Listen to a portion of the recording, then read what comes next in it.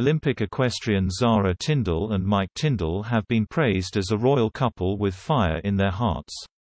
The Channel 5 documentary Zara and Mike No Nonsense Royals reflected on Mike and Zara's relationship and its origin. Royal commentator and equestrian journalist Tilly Berendt claimed early into the relationship Zara wanted Mike to learn the royal family pastime of horse riding. However, she concluded he was unteachable and simply wanted to gallop so eventually gave up.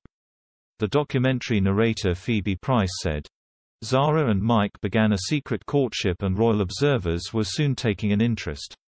There were rumors that Zara was keen for Mike to share her love of horses. She even persuaded him to get in the saddle.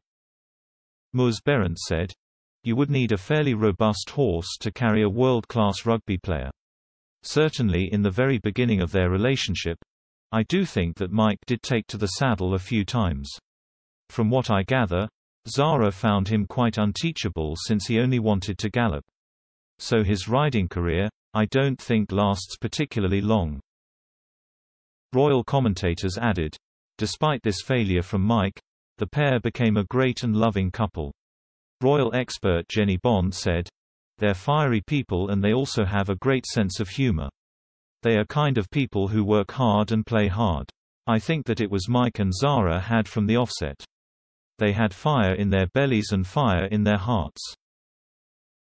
Emily Andrews added, I have never been surprised that Mike Tindall and Zara got together. He is a down-to-earth rugby Yorkshire lad and I think that is exactly what she liked about him. What did he like about Zara? What is not to like about her? She has got a dirty sense of humor. He is incredibly good-looking and is down for a laugh. She would probably drink him under the table and I think Mike Tindall was the kind of guy who absolutely loves all those qualities.